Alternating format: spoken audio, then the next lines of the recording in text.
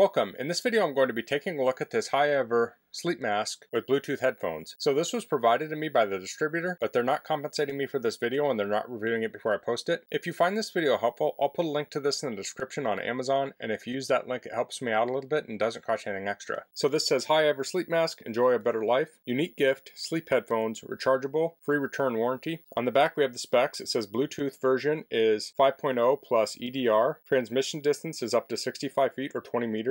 The timer setting from 1 hour to 8 hours. Rechargeable lithium battery is 200 milliamp hours. Micro USB charge is 5 volts at 0.5 amps. So here's the sleep mask. We have instructions, contact card, there's a case to store them in, and a micro USB it said micro USB, but this is actually USB-C. I like USB Type-C better than micro USB, so I think that's better. So here are the instructions. It says 5.0 Bluetooth version compatible with any Bluetooth-enabled devices. Made of premium material to keep you soft. Built-in microphone for answering or calling hand washable after removing the Bluetooth modules, 30-day money-back guarantee, and 24-hour friendly customer service. We covered some of these specs here, but here we have charging time is 1.5 to 2 hours. Working time is 10 to 12 hours. Included in the package is Bluetooth sleep mask, charging cable, user manual, customer service card. So here's the control panel. We have the LED status light, the volume down, next track, on off play, pause, answer, volume up, previous track, and charging port. And then these are the controls. So I know some people will watch this because they lost the instructions, so if you can pause this and read through these. So to turn it on and off, you hold it for three seconds.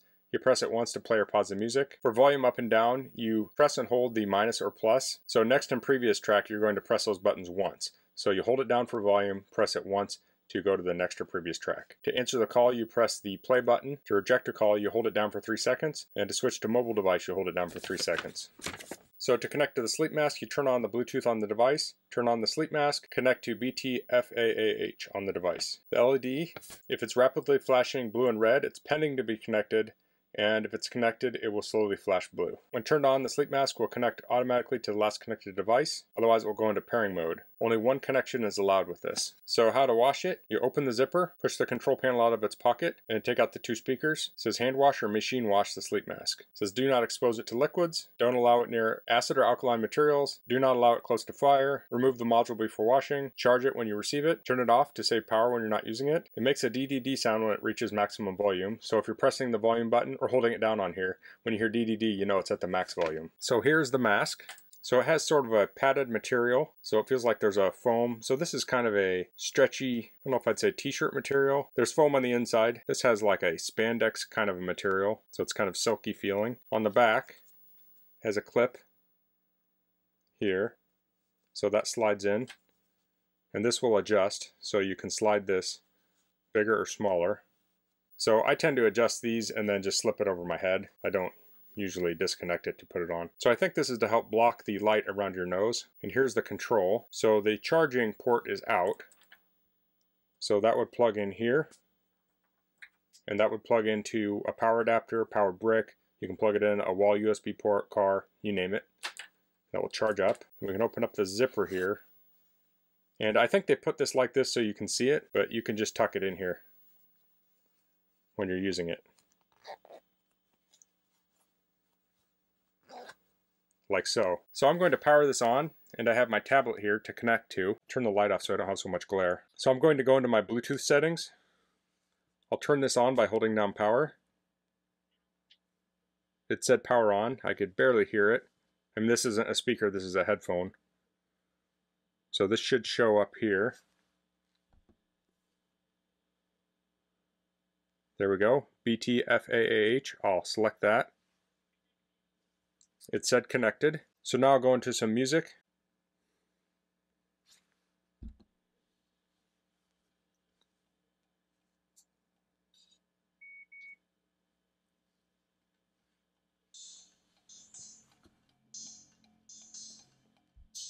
Okay, I can hear that.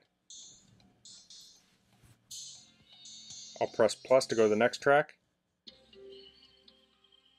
Next track previous track. Then I can hold down the minus button to turn the volume down. I'll hold down the plus to turn it back up. There we had the beep for max volume. I can press play pause to stop it. There we go. On the box it mentioned timer setting. I'm not seeing anything in the instructions about that, but typically with whatever audio software I'm using, it'll have a timer function. So I like to use Amazon Music and turn on some sleep music and I'll have like white noise, things like that. Okay, so I'm going to put this on and turn the camera around so you can see how this fits on my head. Okay, here I have it on.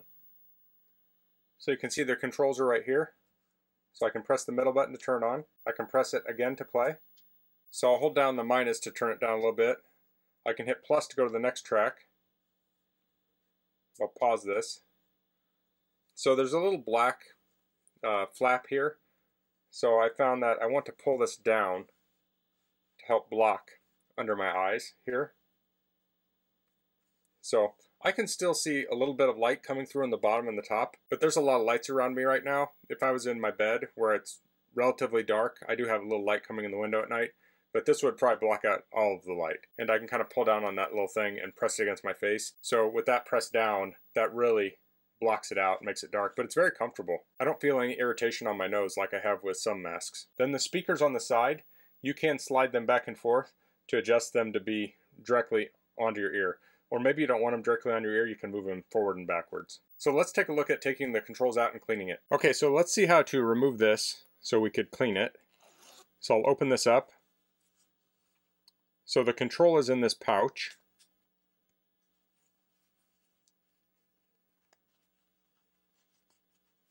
So that is out.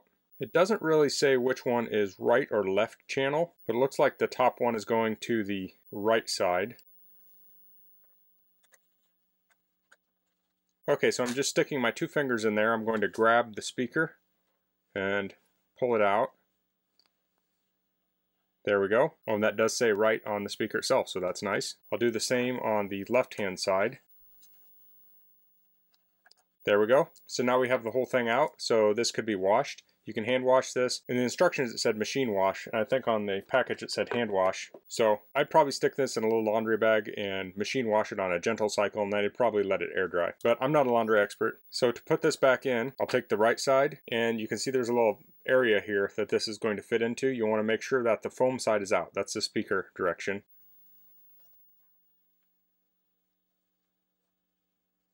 Okay, so I have it right here. I'll do the same to the other side.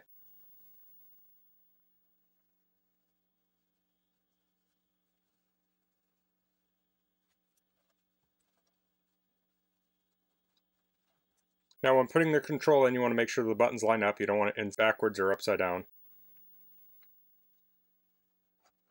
There we go. So that's the High HIGHEVER sleep mask with Bluetooth speakers. I really like sleep masks like this. You can put them on, they'll block out the light, and then I'll typically put some white noise on. The ones I've been listening to recently are like Forests with Rain or a Crackling Fire. I think there was one I was listening to that had Crackling Fire and the rain, so I find it to be very relaxing. And I use a sleep mask sometimes to fall asleep, and then sometimes I'll if I don't use it to fall asleep, I'll wake up in the middle of the night and have trouble getting back to sleep and I'll put a sleep mask on with a little bit of white noise and that really helps me fall back to sleep. So that's all I'm going to cover in this video. If you have any questions, please leave them in the comments. If you like this video, please click like. If you haven't subscribed to my channel, I'd appreciate if you could do that. And thanks for watching. Until next time, goodbye.